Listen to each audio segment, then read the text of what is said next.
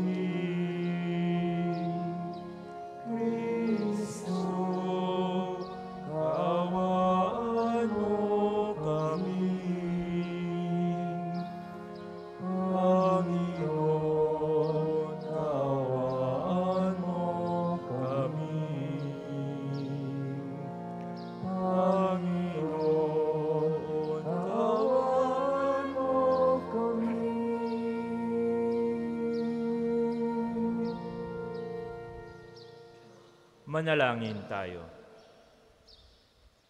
Ama naming makapangyarihan, dinaramayan mo ang mga nagdadalamhati. Ang matimyas na pagluha ni Santa Monica ay tinugon mo ng pagbubunsod ng magbagong buhay si Agusting anak niya. Bilang tugon sa kanilang magkatuwang na pananalangin, loobin mong aming tangisan ang pagsuway namin at marapatin mong ang kapatawaran mo ay aming kamtin. Sa pamamagitan ni Heso Kristo kasama ng Espiritu Santo, magpa sa walang hanggan. Amen.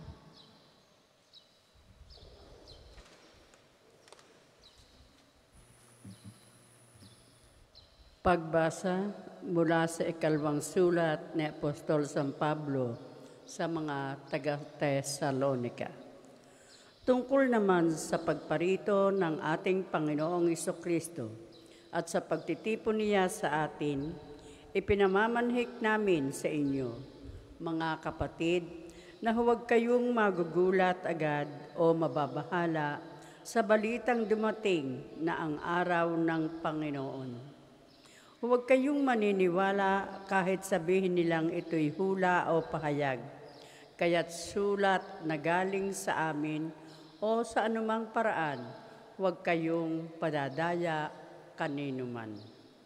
Tinawag kayo ng Diyos sa pamamagitan ng mabuting balitang ipinahayag namin sa inyo upang makasama sa kalwalhatian ng ating Panginoong Heso Kristo. Kaya nga, mga kapatid, manatili kayong matatag sa mga katotohanang itinuro namin sa inyo, maging sa salita o sa sulat.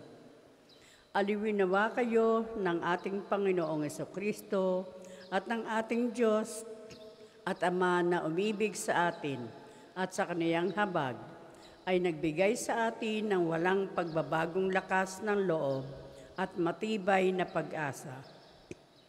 Bigyan nawa kayo ng matatag na kalooban upang inyong maipahayag at maisagawa ang lahat ng mabuti. Ang salita ng Diyos. Salamat sa Diyos. Salmong tugunan. Panginooy paririto upang hatulan niya tayo. Panginooy paririto upang hatulan niya tayo. Panginooy siyang hari, sa daigdig ay sabihin, sanlibutay matatag na kahit ito ay ugain. Sa paghatol sa nilikha, lahat ay pantay sa paningin. Panginooy paririto upang hatulan niya tayo. Lupat langit ay magsaya, umugong ang kalaliman, lahat kayo na nilikhang nasa tubig ay magdiwang. Ang bukirin at ang lahat ng naroon ay sumisigaw. Panginooy paririto upang hatulan niya tayo. Pati mga punong kahoy sa galak ay mag-awitan, ang puon ay pupurihin pagkat siya ay daratal. Paririto sa daigdig upang lahat ay hatulan. Tapat siya kung humatol, sa lahat ay pantay-pantay. Panginooy paririto upang hatulan niya tayo. Magsitayo po lahat.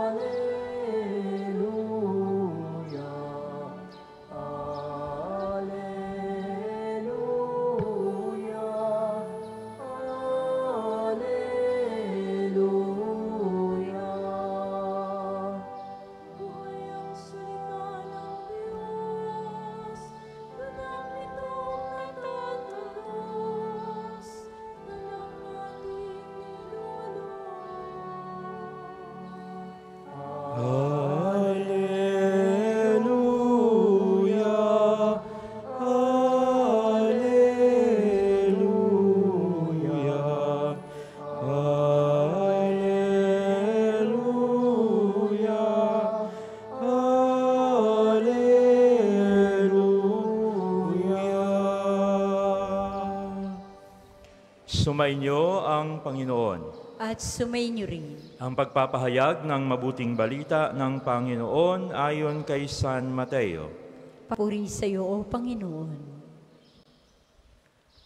Noong panahong iyon, sinabi ni Jesus, Sa aba ninyo, mga eskriba at mga pariseyo, mga mapagpaimbabaw, ibinibigay ninyo ang ikapo ng gulaying walang halaga, ngunit kinaliligtaan ninyong isagawa ang lalong mahahalagang aral sa kautusan, ang katarungan, ang pagkahabag at ang katapatan.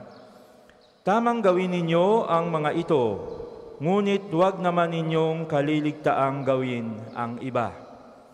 Mga bulag na tagaakay, sinasala ninyo ang niknik sa inyong inumin, ngunit nilulunok ninyo ang kamelyo. Sa aba ninyo, mga iskriba at mga pariseyo, mga mapagpaimbabaw, nililinis ninyo ang labas ng tasa at ng pinggan, ngunit ang loob nito ay puno ng mga nahuthot ninyo dahil sa kasakiman at pagsasamantala. Bulag na pariseyo, linisin mo muna ang nasa loob ng tasa at ng pinggan at magiging malinis din ang labas nito. Mga kapatid, ang mabuting balita ng Panginoon. Pinupuri ka namin, Panginoong Heso Kristo. Isang mapagpala at magandang umaga po uli sa ating lahat. Medyo malamig at maulan ang panahon ngayon. Sa araw na ito ay ating ipinagpapatuloy ang ating narinig na pagdadalamhati, pagtutuligsa ni Jesus sa mga eskriba at mga pariseyo.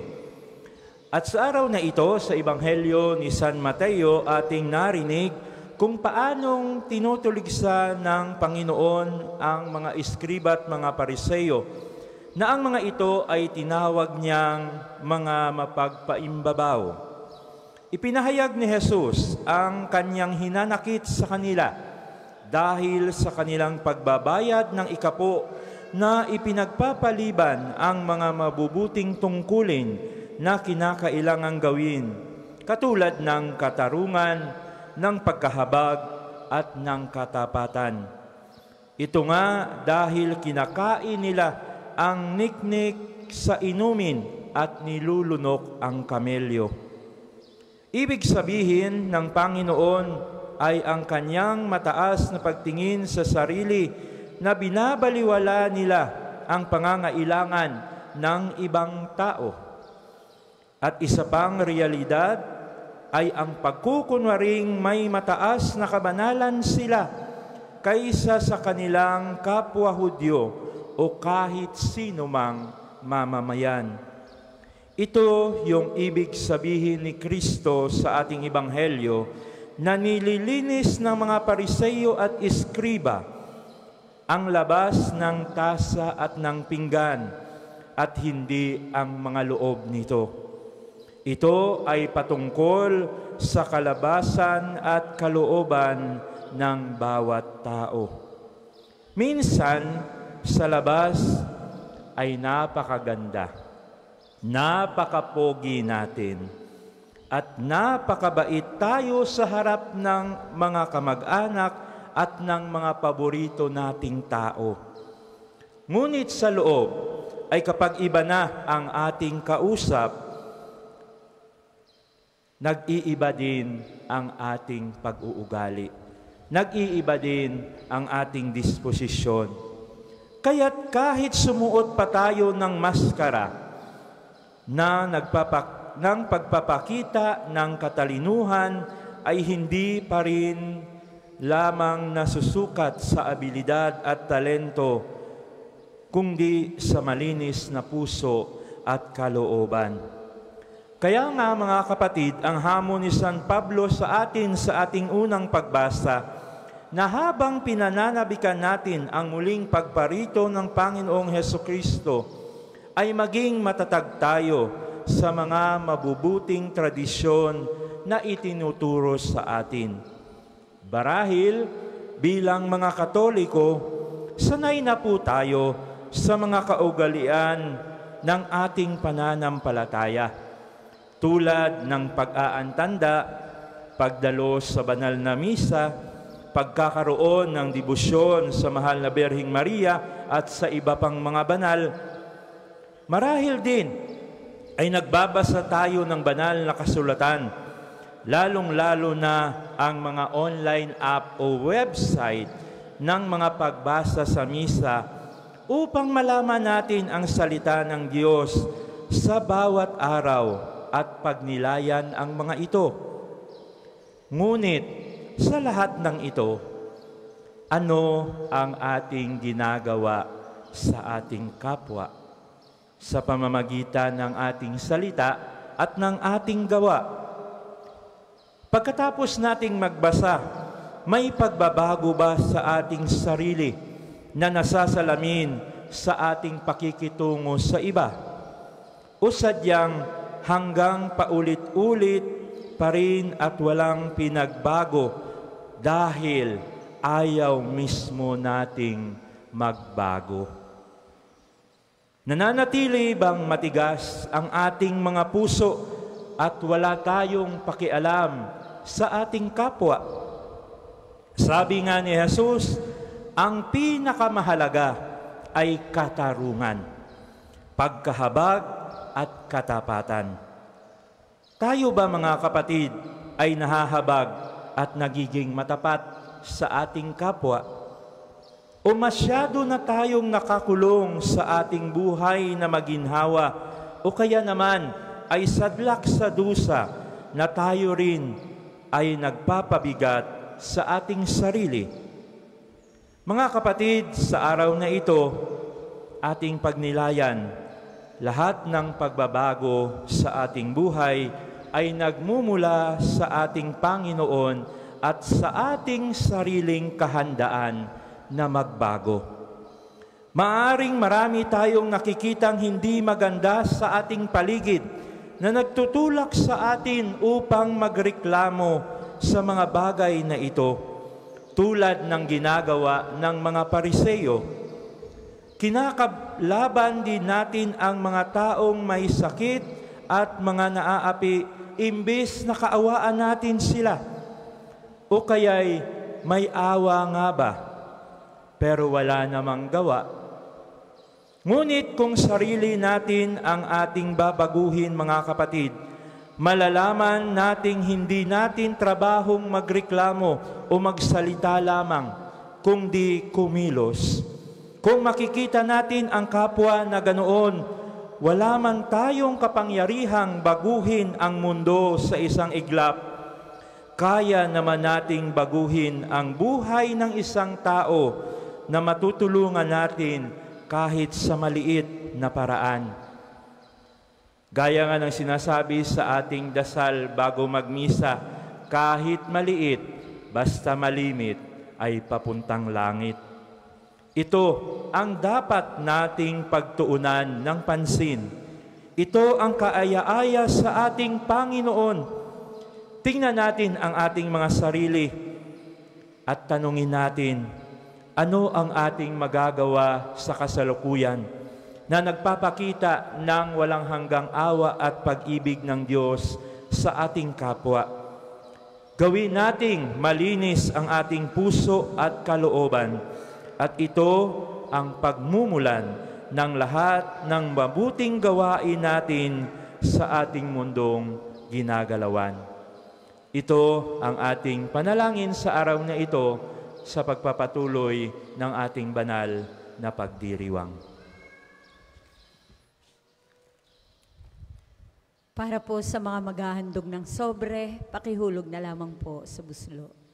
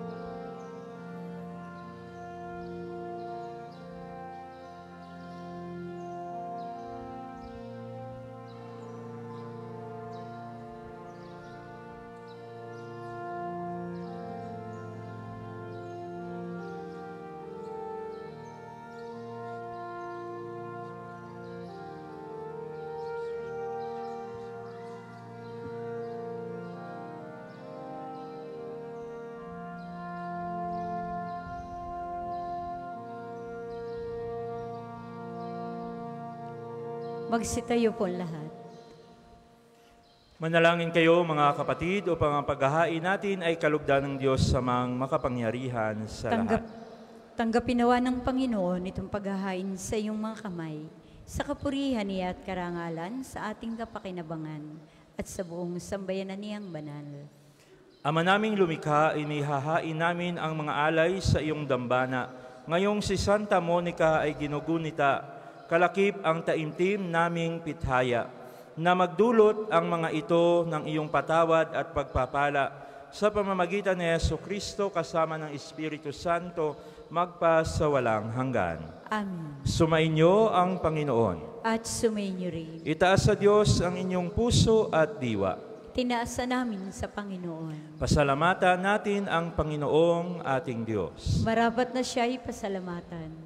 Ama naming makapangyarihan, tunay ngang marapat na ikaw ay aming pasalamatan. Ngayong ikinagagalak naming may mga banal na tao na nagtalaga ng sarili sa anak mong sa Yeso Kristo upang ipamalas nila ang paghahari mo at maakit ang kapwa na manalig sa iyo. Ngayong sa amin ibinigay ang iyong anak na minamahal, ang kabanalang iyong taglay ay hangad mong kamti ng tanan. Ito ang pinanggagalingang aming ngayong nililingon. Dito mo rin nais na kami makarating at humantong. Kaya kaisa ng mga anghel nagsisiawit ng papuri sa iyo nang walang humpay sa kalangitan. Kami nagbubunyi sa iyong kadakilaan.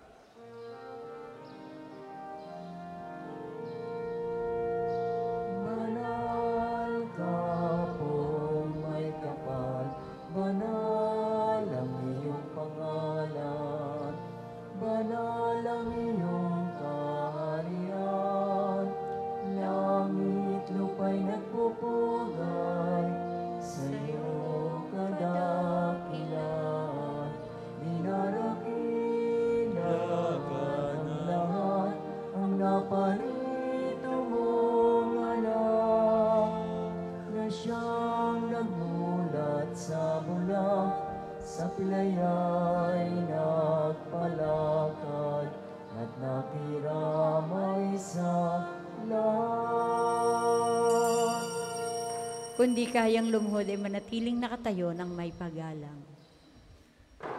Ama naming banal, ikaw ang bukal ng tanang kabanalan. Kaya sa pamamagitan ng iyong Espiritu, gawin mong banal ang mga kaloob na ito upang para sa amin ay maging katawan at dugo ng aming Panginoong Heso Kristo.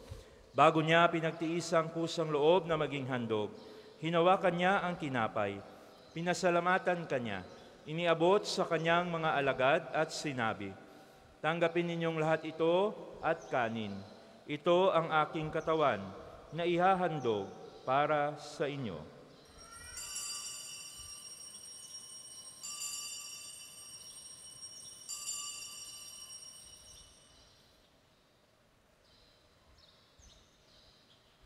Gayon din naman, matapos ang hapunan, hinawakan niya ang kalis, muli kanyang pinasalamatan, iniabot sa kanyang mga alagad at sinabi, Tanggapin ninyong lahat ito at inumin.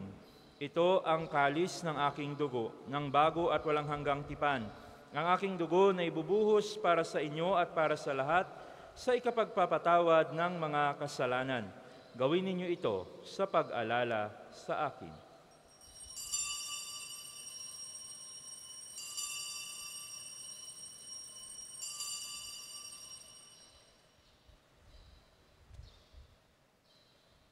Ipagbunyi natin ang misteryo ng pananampalataya. Si Kristo'y namatay, si Kristo'y nabuhay, si Kristo'y babalik sa wakas ng panahon. Ama, ginagawa namin ngayon na pag-alaala sa pagkamatay at muling pagkabuhay na iyong anak. Kaya iniaalay namin sa iyo ang tinapay na nagbibigay buhay at ang kalis na nagkakaloob ng kaligtasan. Kami nagpapasalamat dahil kami iyong minarapat na tumayo sa harap mo para maglingkod sa iyo.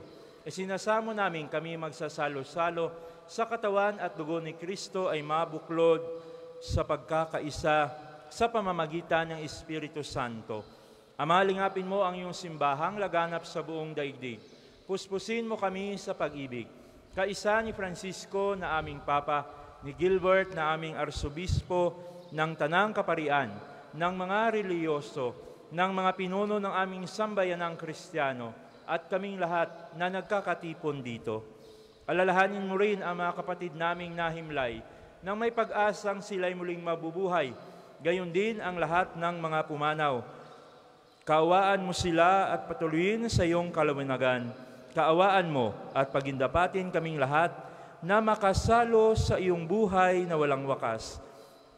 Kaisa ng mahal na Berhing Maria na ina ng Diyos, ni San Jose ang kanyang kalinis-linisang esposo, kaisa ng mga apostol, ni Santa Monica, ni Santo Padre Pio, at ng lahat ng mga banal na namuhay dito sa daigdig ng kalugod-lugod sa iyo. Maipagdiwang nawa namin ang pagpupuri sa ikararangal mo sa pamamagitan ng iyong anak na aming Panginoong Heso Kristo.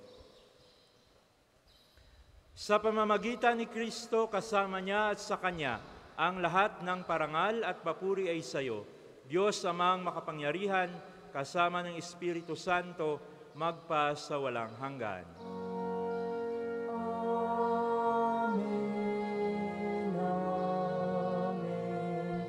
Amen.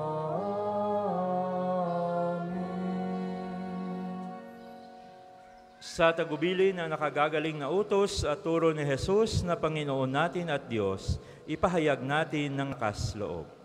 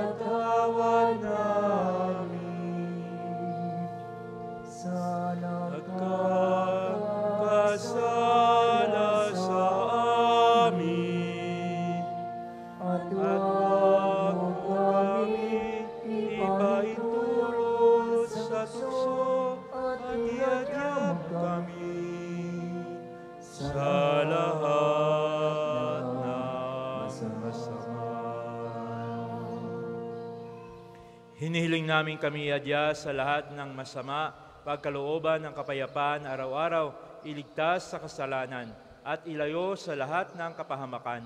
Samantalang aming pinanabikan ang dakilang araw ng pagpapahayag ng tagapagligtas naming si Heso Kristo. sapagkat iyo Ang kaharian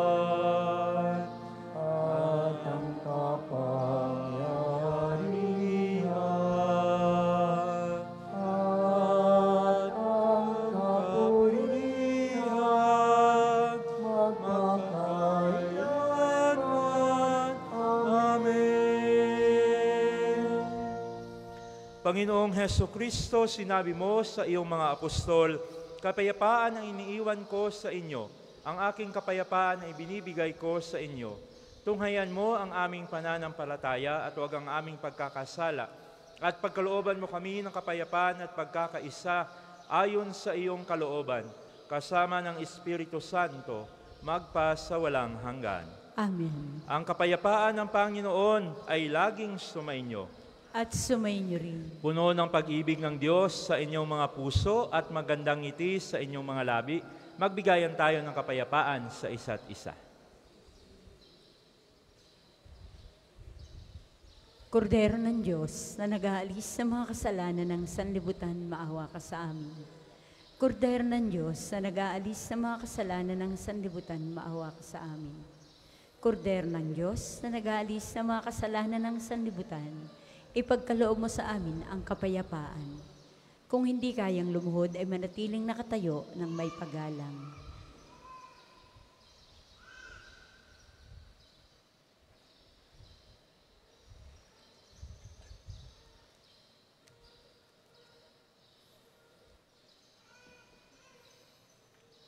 Mga kapatid, eto si Kristo ang kordero ng Diyos. Siyang nag-aalis ng mga kasalanan ng sanlibutan. Mapalad ang mga inaanyayahan sa kanyang piging.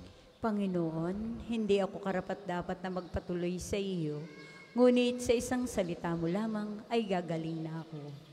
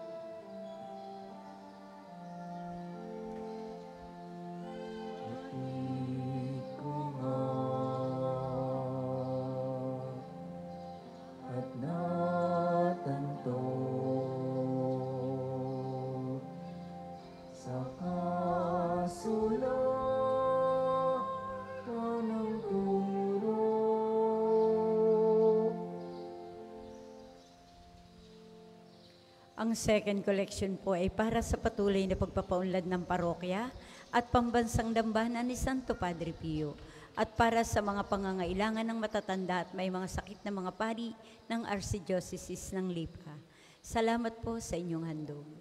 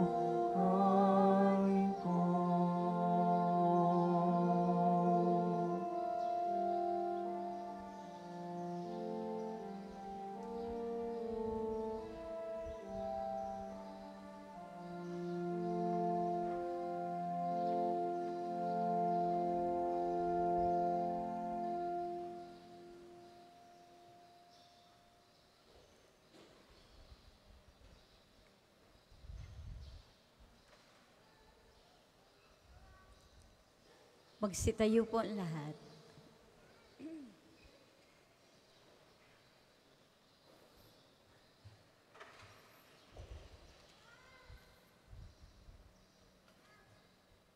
Manalangin tayo.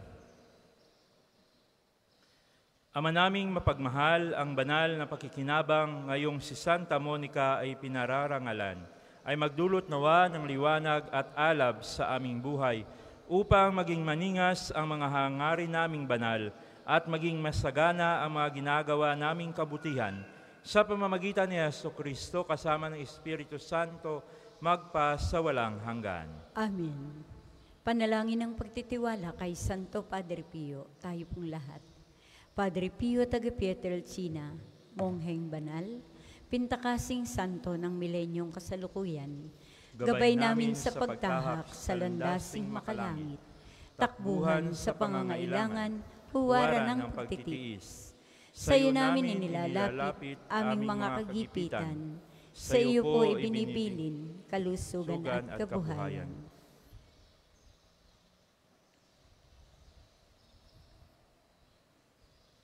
Di man karapat-dapat, kami, po ay pagbigyan, bendisyonan at basbasan, maging ganap sa buhay. Lumayo nawa kami, umiwas sa kasalanan. Lumapit lagi sa Diyos, maging matatag at matibay. Sa mabuting balita ng pagliligtas, turuan mo kami nawa. Sa tuwina ay makinig, magnilay at sumampalataya. Amin pong pakiusap itong mga kahilingan. Puso ay nagsisisi, nagtitikang taimtiman. Di na muling magkasala, sunod lagi sa Diyos Amang, kaysa ng Espiritu at ni Jesus na tagapamagitan. Amen. Magsiupo po muna para sa ilang paalaala. Una po sa inyong pagdalaw sa pambansang dambana, mangyaring pakaingatan ang inyong mga personal na gamit. Hangad namin ang isang matiwasay at maayos na pagbisita sa National Shrine. Ikalawa, sa pagnanais nating palawakin ang dokumentasyon at datos ng mga pilgrims and devotees na bumibisita sa pambansang dambana, kami po ay nag-aanyaya sa inyong lahat na makilahok sa ginagawang pagkalap ng impormasyon na makatutulong sa pagpapaunlad ng ating turismong pangsimbahan. Makikisuyo po kami na paki-scan ang QR code na inyong makikita sa paligid ng simbahan at pakikumpleto ng mga impormasyong kinakailangan. Makakaasa po kayo sa aming pag-iingat ng private information na inyong ibabahagi bilang pagsunod sa batas ng Data Privacy Act of 2012. Ang inyong pakikiisa ay malaking tulong at susi sa tagumpay ng proyektong ito. Ang susunod pong misa ay sa ganap na ikasampu ngayong umaga. Maraming salamat po't mangyaring panatilihin natin ang kalinisan, katahimikan at diwa ng pananalangin sa loob at labas ng ating mga simbahan. Magsitayo na po ang lahat para sa pagbabasbas ng religious articles.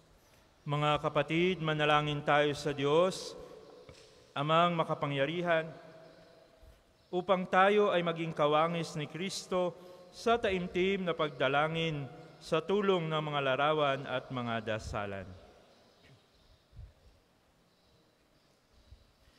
O Panginoong Diyos, Ikaw ang bukal ng lahat ng pagpapala at biyaya. Ibuhos mo ang iyong bindisyon sa mga gamit na ito sa pananalangin, mga rosaryo, imahin, dasalan, na nagpapaalala ng iyong kabutihan, kabanalan at pagmamahal sa amin, upang ang lahat na dumulog at magdasal gamit ang mga ito ay magtamo ng iyong awa at biyaya. Loobin mong tularan nila ang kabanalan at aral ng Panginoon at ng mga santo, magpas sa walang hanggan. Amen. Ama namin, sumasalangit ka. Sambahin ang ngalan mo. Mapa sa amin ang kaharian mo. Sundin ang loob mo dito sa lupa para nang sa langit. Bigyan mo kami ngayon ng aming kakanin sa araw-araw. At patawarin mo kami sa aming mga sala para ng pagpapatawad namin sa mga nagkakasala sa amin. At huwag mo kaming ipahintulot sa tukso at iadya mo kami sa lahat ng masama. Amen. Aba, Ginoong Maria, napupuno ka ng grasya. Ang Panginoong Diyos ay sumasa iyo. Bukod kang pinagpala sa babaeng lahat, at pinagpala naman ang iyong anak na si Jesus. Santa Maria, Ina ng Diyos, ipanalangin mo kaming makasalanan, ngayon at kung kami mamamatay. Amen. Luwalhati sa Ama, at sa Anak, at sa Espiritu Santo, kapara noong unang-una, ngayon at magpasawalang hanggan. Amen. Luwalhati sa Ama, at sa Anak, at sa Espiritu Santo, kapara noong unang-una, ngayon, at magpasawalang hanggan. Amen. Luwalhati sa Ama, at sa Anak, at sa Espiritu Santo, kapara noong unang-una, ngayon, at magpasawalang hanggan. Amen.